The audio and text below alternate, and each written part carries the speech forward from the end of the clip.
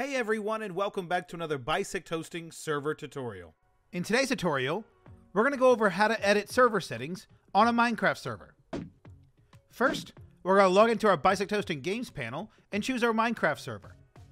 Next, we're going to choose the Stop button to stop the server. We will then go to the Config Files drop-down menu and choose Server Properties. Within this file, we can modify any desired settings. All changes are automatically saved using this config editor. If you want, you can also disable the config editor in the top right if you want to see the settings within the actual document.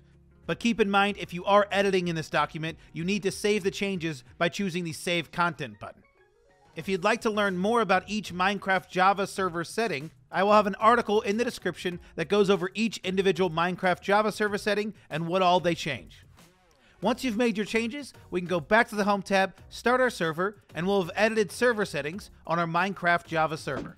If you have any questions, check out our knowledge base, bisecthosting.com slash kb, or you can submit a support ticket on our website. If this guide was helpful, make sure you hit that like button, subscribe for more content like this, comment down below which guide you would like to see next, and we'll see you around.